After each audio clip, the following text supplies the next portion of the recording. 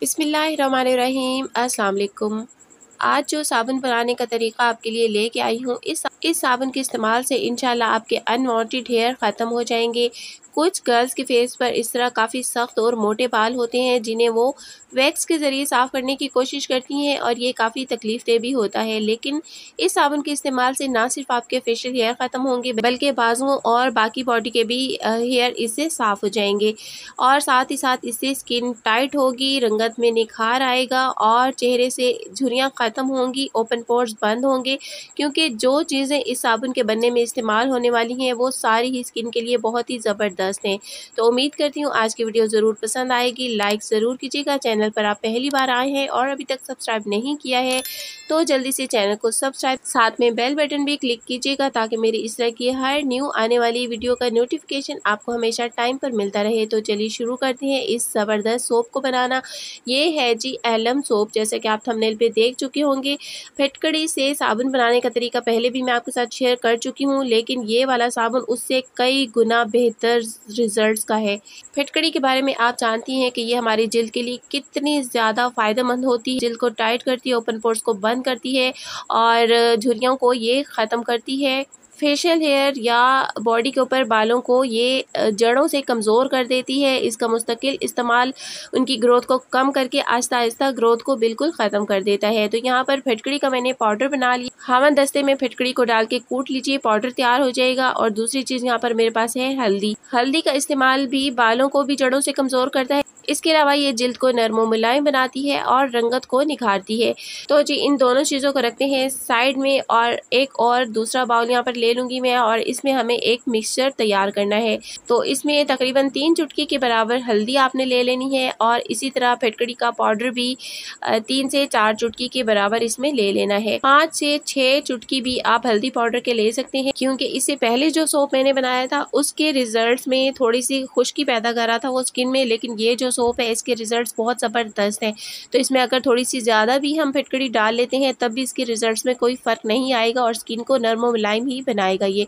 अब इसके बाद इसमें एलोवेरा डाल लेंगे। मार्केट वाला एलोवेरा जेल मैं यूज़ कर रही हूँ। आप इसकी जगह पर फ्रेश एलोवेरा लेना चाहें तो एक से दो चम्मच फ्रेश एलोवेरा जेल के भी आप इसमें डाल सकती हैं। एक चम्मच के बराबर इसमें एलोवेरा जेल मैंने निकाल ली है। इसे बहुत अच्छी तरह से मिक्स कर लेंगे। एलोवेरा जेल भी आप जानती हैं कि स्किन को नरम और मुलायम बनाती है और चमकदार बनाती है और स्किन को टाइट भी करती है। तो अब नेक्स्ट इसमें मैं हनी का इस्तेमाल करने वाली हूँ। तो तकरीबन हाफ़ चम्मच के बराबर इसमें मैंने हनी डाल लिया है। शहद के इस्तेमाल के, इसमें क्या फ़वाद होंगे, ये मैं आपको आगे चल के बताती हूँ। यहाँ जी, अब मैंने इसमें लेमन भी ले लिया है। एक छोटा सा ये लेमन है मेरे पास तो ये मैं पूरा ही यूज़ करूँगी। वैसे आपने दस से बारह ड्रॉप्स लेमन के ले लेने हैं। लेमन और हनी मिलकर स्किन को बहुत ज़्यादा सॉफ्ट, स्मूथ और ख़ूबसूरत बनाते हैं और इसके अलावा जो लेमन होता है, ये स्किन को कुदरती तौर पर ब्लीच भी करता है और इसके अलावा ये बालों को भी जड़ों से कमज़ोर कर देता है और इसी तरह हनी जो है, ये स्किन को सॉफ्ट बनाता है, स्मूथ बनाता है एंटी एजिंग है, ये रिंकल्स को ख़त्म करता है और स्किन को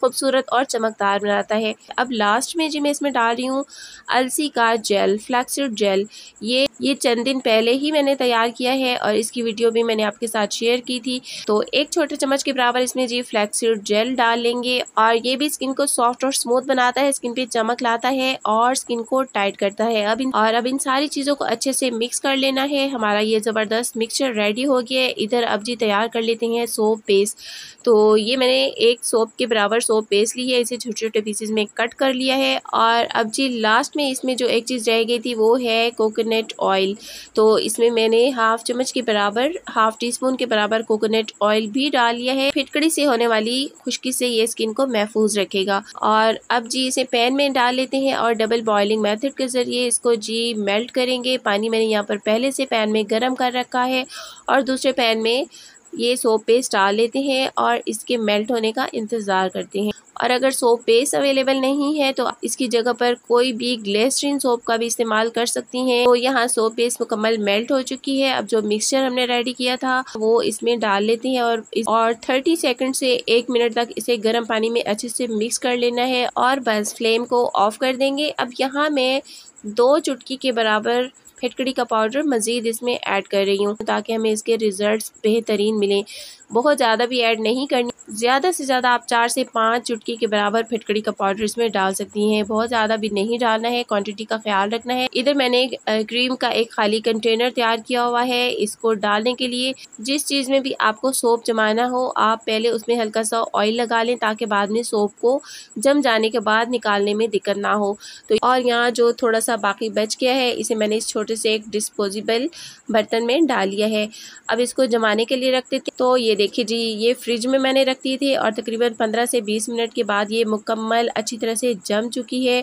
हमारा ज़बरदस्त सोप तैयार हुआ है। एलम टर्मरिक, हनी और लेमन के साथ बहुत ज़बरदस्त होती हैं ये सारी चीज़ें। जब मिक्स करके यूज़ की जाएँ, कमाल के इनके रिज़ल्ट होते हैं। स्किन को बहुत ज़्यादा सॉफ्ट और स्मूथ कर देती हैं और ख़ास तौर पर जो इसमें एलम का इस्तेमाल किया है, इसका मकसद यही है कि इसका रेगुलर इस्तेमाल आपके बालों को जड़ों से कमज़ोर कर देगा और उनकी ग्रोथ को आहिस्ता आहिस्ता कम करते करते बिल्कुल ख़त्म कर देगा। इससे पहले जो एलम सोप मैंने बनाया था, उसमें काफ़ी कॉमेंट्स आते थे कि हम इसे क्या फेस पे लगा सकते हैं। हमारी आइज़ के लिए आईब्रोज़ के लिए नुकसानदेह होगा तो आपने इस तरह से फेस पे इसको लगाना है। जिस तरह आप साइड में इस पिक्चर में देख रही हैं, आईज के एरिया को आपने बचा के लगाना है। अंडर आईज आप इसको लगा सकती हैं, लेकिन आई पर आई पर आप लगाते हुए इसको एहतियात कर। आप इसे बाथ सोप के तौर पर, बॉडी सोप के तौर पर यूज़ कर सकती हैं और फेस सोप के लिए भी।